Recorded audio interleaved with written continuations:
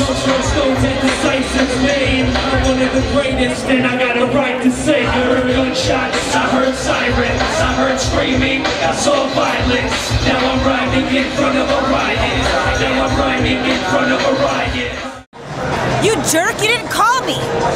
You jerk, you didn't call me. I haven't seen you in so long, probably have a fucking tan. And besides, that instead of making love to you're drinking to the airport, I'm through with you bourgeoisie boys.